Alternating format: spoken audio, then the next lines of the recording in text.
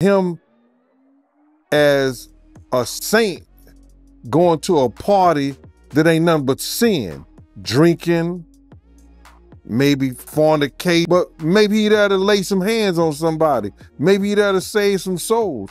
I know he got a contract with Revolt, so I'm just like, it, it, it's just real strange. Diddy is taking the whole ship down with him as shocking new revelations have exposed the extent of Pastor T.D. Jakes' involvement in his sex trafficking ring. Seriously, what were you thinking, Pastor?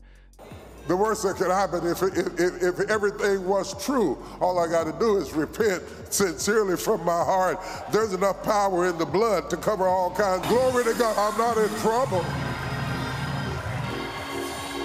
I'm talking about the power of the blood, amen. Pastor Thomas Dexter, T.D. Jakes, known for leading the Potter's House megachurch in Dallas, finds himself entangled in a lawsuit that has ties to Sean P. Diddy Combs, would you help me welcome our internet audience that's streaming online? Come on, give God a praise for all of them. Thank you for tuning in, logging in, looking in.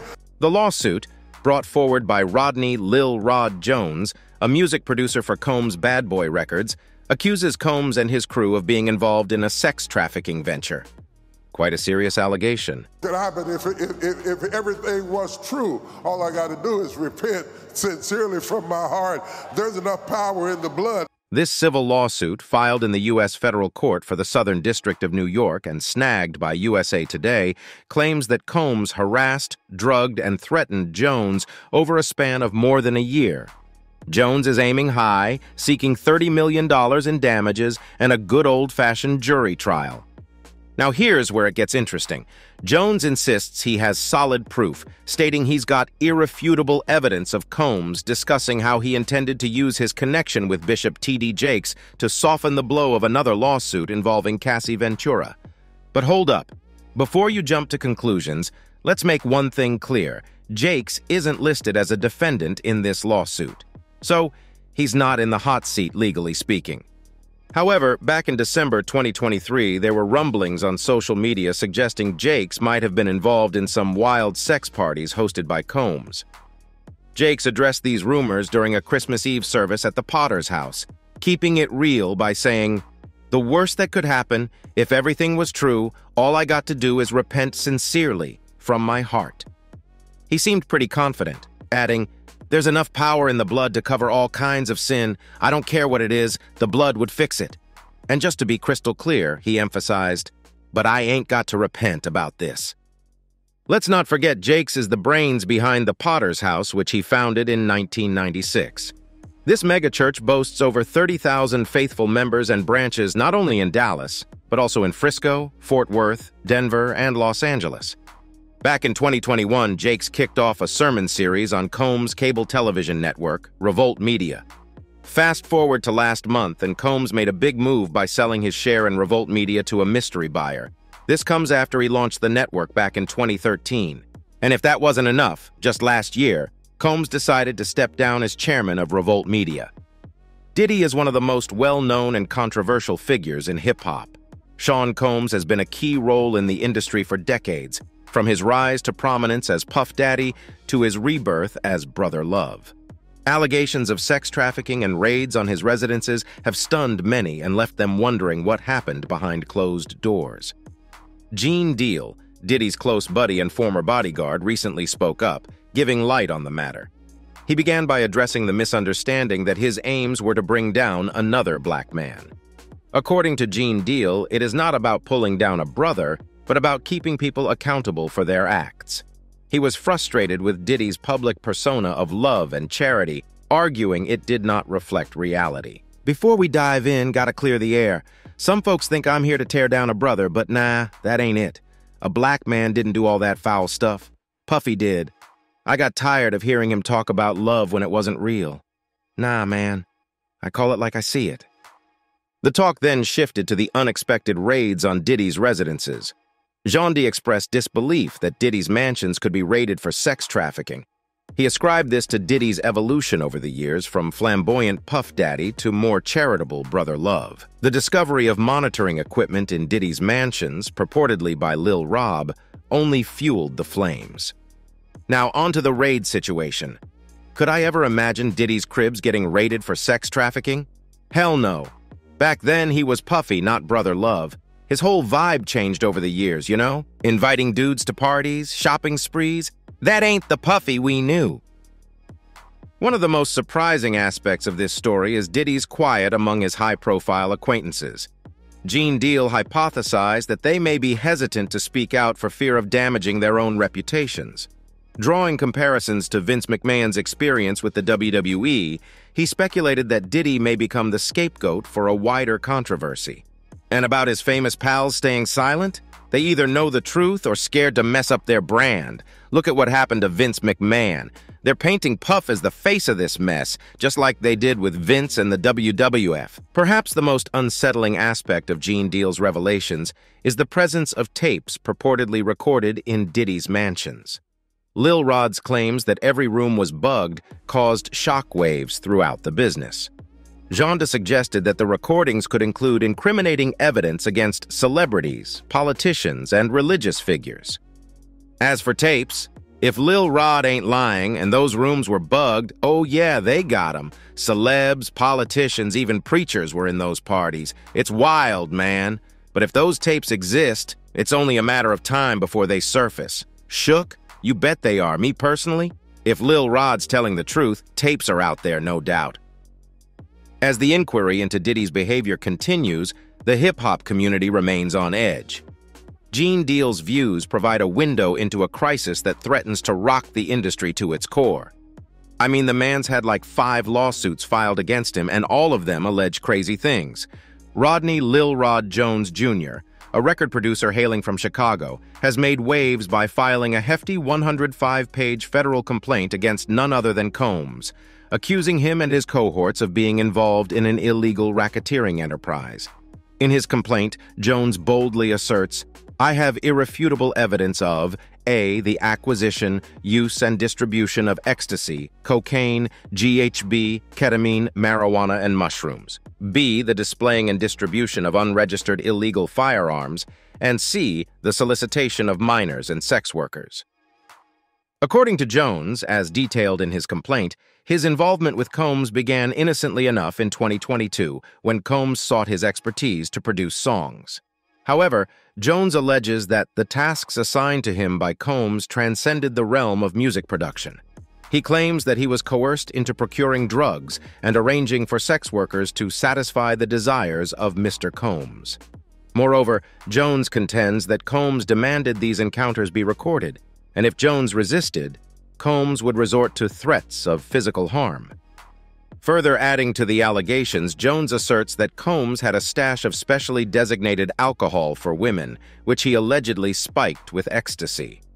Jones also levels accusations of sexual harassment and assault against Combs, recounting instances where he was grabbed without consent and forced to work in the presence of a naked Combs.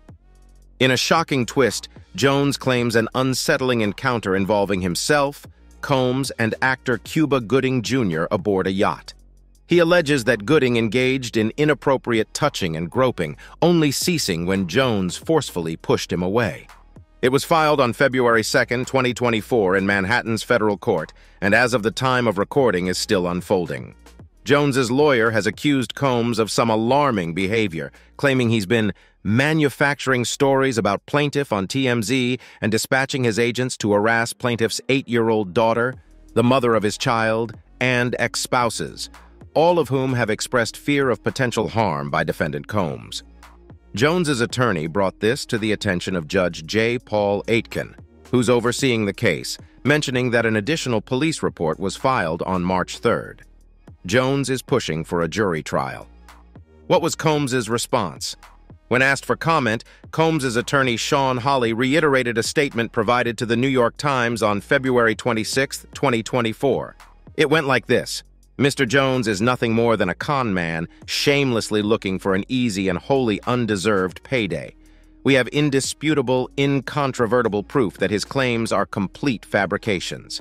Our attempts to share this proof with Mr. Jones's attorney, Tyrone Blackburn, have been ignored, as Mr. Blackburn has refused to return our calls. We look forward to addressing these ridiculous claims in court and intend to take all appropriate action against all who are attempting to peddle them. Jane Doe, on the other hand, claims she was gang raped and sex trafficked by Combs and Harve Pierre, the former president of Bad Boys Records, when she was 17 years old and in 11th grade. She claims she met Pierre in a lounge in Detroit and he told her he was best friends with Combs. Combs allegedly persuaded Doe to follow Pierre and a third assailant on a private jet to his studio in New York City. She alleges she consented and boarded a flight bound for Teterboro, New Jersey, before being escorted to Combs' studio. She claims that once there, Combs and his colleagues, including Pierre, plied her with drugs and drink, and that she was then gang raped at the studio by Combs, Pierre, and a third attacker. According to her complaint, while Mr. Combs was raping Miss Doe, he complained that he could not get off unless she pinched his nipples as hard as she could. Combs then allegedly watched while the third assailant raped her as she implored him to stop. After third assailant was finished, Mr. Pierre took his turn at raping Miss Doe and then violently forced her to give him oral sex, during which Miss Doe was choking and struggling to breathe, according to the criminal complaint. Combs and Pierre have rejected the claims made against them in this case, Combs' attorneys have requested the judge to dismiss the entire case, claiming Combs was a victim of the cancel culture hysteria in the courts. The victim has been attempting to maintain anonymity. Judge Jessica G.L. Clarke, who is supervising the case, has dismissed the woman's desire to remain anonymous, but has postponed that decision until she rules on Combs' move to dismiss. The judge gave the. On December 6, 2023, Combs issued a statement addressing the complaint. Enough is enough. For the last couple of weeks, I have sat silently and watched people try to assassinate my character, destroy my reputation and my legacy, he said. Sickening allegations have been made against me by individuals looking for a quick payday. Let me be absolutely clear. I did not do any of the awful things being alleged. I will fight for my name, my family, and for the truth. Pierre also released a statement vehemently denying the accusations. This is a tale of fiction, he said. I have never participated in, witnessed, nor heard of anything like this. Ever. These disgusting allegations are false and a desperate attempt for financial gain. I will vigorously protect my reputation and defend my name. Those who know me recognize that these claims are not true. Cassie's lawsuit claims Diddy committed many acts of abuse, including rape, violence, and forced intercourse with male sex workers. Cassie describes the mogul, president of her previous label and then romantic boyfriend, as a textbook abuser, enticing her into what she initially thought was a fatherly, protective relationship, only to find herself in an unequal and violent sexual relationship. Diddy allegedly intimidated her by blowing up a man's car, dangling a friend over a 17th-floor balcony, and ordering her to carry his revolver in her purse. She never went to the police because she was afraid it would merely give Mr. Combs another excuse to hurt her. Diddy refuted the charges. Cassie, Miss Cassandra Ventura, was held down by Mr. Combs and endured over a decade of his violent behavior and disturbed demands, according to the complaint. For Miss Ventura, the dark times were those she spent trapped by Mr. Combs in a cycle of abuse, violence, and sex trafficking. Diddy initially exhibited romantic interest in Cassie in 2006, according to the lawsuit, when his makeup artist mentioned that he was interested. Soon after, the young celebrity is alleged to have fallen into his jet-setting, drug-fueled lifestyle. When they started dating, Diddy and his inner entourage supposedly had complete control over her life. According to the lawsuit, persons close to Bad Boy Records' founder covered up physical violence. Beatings were witnessed by Mr. Combs' staff and employees, according to the lawsuit, but no one dared to speak up against their frightening and ferocious boss. Cassie claimed she never went to the police because she feared it would give Diddy an excuse to hurt her. In one episode of Assault in 2009, he allegedly kicked her repeatedly in the face, causing her to bleed, then ordered his staff to hide her in a hotel room. Every time she hid, Mr. Combs's vast network of corporations and affiliated entities found her, and those who worked for Mr. Combs's companies implored her to return to him, the complaint said. Many went as far as to explicitly state that her failure to return to Mr. Combs would hinder her success in the entertainment industry. Cassie experienced memory loss, suicidal ideation, and excessive substance usage during her connection with Diddy, according to the lawsuit. The court documents detail an occasion in which MRI data were sent directly to Diddy. The action identified Diddy, whose real name is Sean Combs, and his affiliated corporate organizations, Bad Boy Entertainment, Bad Boy Records, Epic Records, Combs Enterprises, and Docor, implying widespread involvement in the claims. Cassie requested unspecified compensatory damages. Cassie also claims Diddy compelled her to participate in freak-offs, an arrangement in which she had no option but to organize and perform sex acts with male sex workers while he masturbated. The encounters persisted for years in high-end hotels around the country, with some occurring as frequently as once a week, according to the lawsuit. Diddy documented the meetings using photos and video. Cassie tried to delete films from her phone but was unsuccessful. Once, she was forced to see footage on a flight that she believed she had deleted. Following a FO in 2016, he allegedly paid a hotel $50,000 to remove hallway CCTV film showing an inebriated Diddy hurling glass vases at Cassie as she attempted to flee after he gave her a black eye. She would use huge amounts of drugs, to disassociate during these horrific encounters, including ecstasy, cocaine, GHB, ketamine, marijuana, and alcohol in excessive amounts. Cassie said that excessive substance usage led to addiction. The complaint claimed Diddy blew up Kid Cudi's automobile in 2012 as punishment for the Up Up and Away rapper's brief romance with Cassie. Diddy once stated that he would target him. Around that time, according to the lawsuit, Kid Cudi's car exploded in his driveway. Cudi corroborated Cassie's account in a statement released through his publicist. This is all true, he informed the New York Times. According to the petition, Diddy pushed his way into her home and assaulted her in 2018, even though she repeatedly said no and tried to push him away. Cassie ended her relationship with him after the incident. She dissolved her relationship with Bad Boy in 2019. Cassie and Combs voluntarily decided to settle their dispute on November 17, 2023. Cassie urged the court to dismiss her entire case with prejudice, which meant that her claims could not be submitted again, four days after filing her lawsuit. Liza Gardner filed a 22-page lawsuit against Combs and Aaron Hall, alleging them of forcing her to have sex with them against her will when she was 16. Gardner alleges she met Combs and Hall in New York at an event celebrating Jodeci's record release. Following the event's supper, Combs allegedly invited Gardner and a friend to Hall's place for an after-party. She said Combs coerced her into having sex with him, and while she was getting dressed, Hall barged into the room, pinned her down, and reportedly forced her to have intercourse with him. Gardner alleges she experienced severe vaginal pain as a result of the incident. She claimed she fled the apartment and later discovered that her buddy allegedly had sex with both Combs and Hall. Gardner claimed that the day following the incident, Combs came to her home and continued assaulting and choking her until she passed out. Gardner's complaint alleges that after being violently and statutorily raped by Combs and Aaron Hall, Miss Gardner's life has been overwhelmed by depression, post-traumatic stress disorder, and strained relationship with men and has requested a jury trial.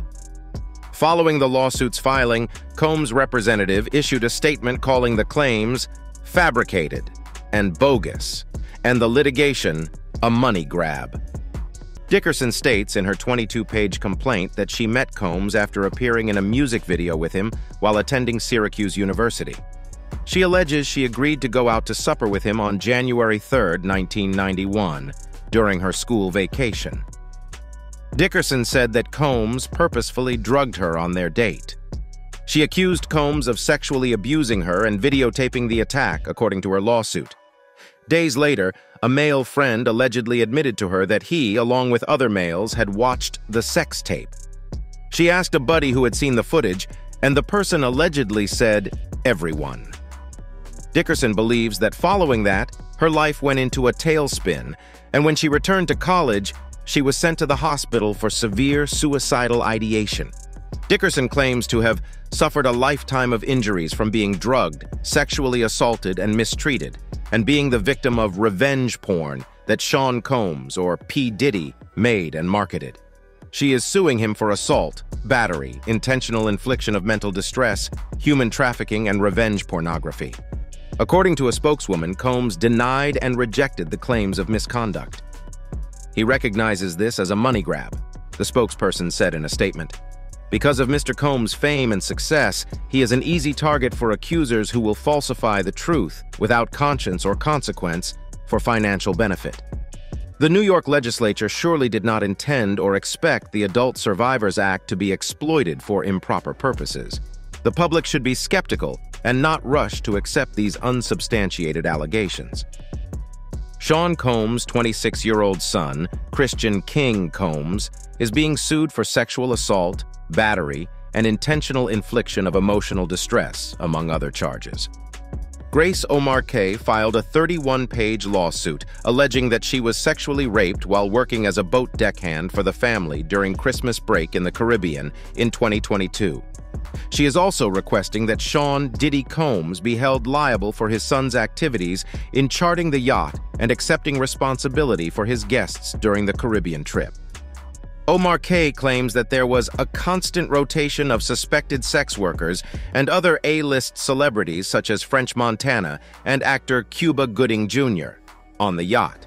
Claims that sex workers were sprawled out unconscious about that yacht, and it was difficult to distinguish which bottles of alcohol were laced with drugs and which bottles were not. According to her lawsuit, on the early morning of December 28, 2022, a heavily intoxicated Christian Combs physically assaulted her. She claims that Christian stopped her from leaving, stripped him naked, and tried to force her to perform oral copulation with him. O'Marcaigh is suing Diddy, accusing him of creating an environment of debauchery characterized by suspected sex workers, violence, drinks allegedly laced with drugs, and disrespect for the crew. Aaron Dyer, an attorney for the father-son team, described the lawsuit's claims as lewd and meritless. This complaint is filled with the same kind of manufactured lies and irrelevant facts we've come to expect from Blackburn, he added, referring to the attorney who also represents Rodney Jones. This is exactly why the federal judge in New York slapped him two days ago for a pattern of behavior in improperly filing cases in federal court to garner media attention embarrass defendants with salacious allegations, and pressure defendants to settle quickly, and why he was referred to the disciplinary committee in the Southern District of New York. We will be filing a motion to dismiss this outrageous claim. On December 7th, singer-songwriter Tiffany Red released an open letter to Diddy in Rolling Stone, which corroborated Cassie's charges. Red claims she became close to the R&B singer in 2015 while working on an album that Diddy never released. The singer also attended Cassie's 29th birthday party, where Diddy allegedly yelled and cursed at her. After his verbal abuse interrupted karaoke with friends, Red claimed she witnessed the rapper pull a drugged Cassie to a freak-off in the middle of the night. She also claimed Cassie revealed the physical assault to her on another occasion. Diddy's treatment of herself and her companion resulted in PTSD, paranoia, and anxiety. The power imbalance makes it nearly impossible to fight back and terrifying to speak up, Red wrote in her letter. But despite that, here I am, standing beside my friend. There are moments in life when some of us have to face the hard choice of speaking truth to power or not. This is one of those moments. 50 Cent immediately began work on a documentary on Diddy's sexual assault charges. The rapper confirmed the news in a tweet on December 7th. G-Unit film and television proceeds from this documentary will go to victims of sexual assault and rape, 50 wrote beside an excerpt from the project. In the video, former Bad Boy Records rapper Mark Curry recalls Diddy's lavish parties and allegations that he would spike champagne for ladies to imbibe. He thinks they would become real, real slippery if they were not aware they had been poisoned. G-Unit Film and Television will produce the film. The searches of two properties owned by hip-hop mogul Sean Diddy Combs were intended to discover evidence to corroborate his accusers' stories, and a legal expert said the raids indicate that federal prosecutors in New York, who are leading the investigation, are confident in the case they're assembling. The fact that they are taking this aggressive step tells me they have cooperative victims, and they're moving quickly to make a case, said Rebekah Donaleski, a partner at Cooley LLP and a former federal prosecutor who oversaw the successful prosecution of Jeffrey Epstein's paramour, Ghislaine Maxwell. Prosecutors have examined several of Combs' accusers, including some who have filed civil claims, according to law enforcement sources familiar with the case. The next step is to attempt to corroborate what the accusations alleged. Any innocuous detail that you can corroborate, that's what you're trying to do, Donaleski said. Perpetrators keep mementos. They keep photos, videos, things like that. In the meantime, Brendan Paul, 25, a Combs employee cited in one of the claims, was jailed on a narcotics charge. According to the civil action, Paul transported cocaine and firearms for Combs. He has since made bail. Federal agents with Homeland Security investigations seized computers and other electronic devices at Combs' homes in Los Angeles' Holmby Hills neighborhood and Miami, according to sources, as investigators look for photos, videos, or other evidence that accusers may have mentioned during interviews. A search, especially one that is this high profile, signals they have confidence they have strong evidence, and the speed with which they have moved tells me the evidence is compelling, Donaleski went on to say. According to sources, the investigation is focused on potential sex trafficking offenses or violations of the Travel Act, which bars interstate or overseas travel for sexual purposes. Kesha also made a big impression as a surprise guest during Renee Rapp's afternoon Coachella show on Sunday. The singer appeared about midway through Rapp's performance to perform her 2010 big hit, TikTok, but she modified the opening words to Wake up in the morning like fuck P. Diddy, and held her middle finger in the air with Rapp. Of course, the song's original lyrics are Wake up in the morning feeling like P. Diddy, with the mogul himself providing a short voice saying, Hey, what's up, girl?